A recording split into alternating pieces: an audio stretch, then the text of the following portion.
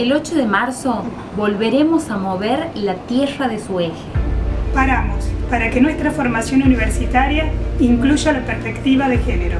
Todas decimos, si nuestra vida no vale, produzcan sin nosotras.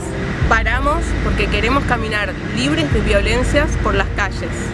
Paramos por el derecho al aborto legal, seguro y gratuito.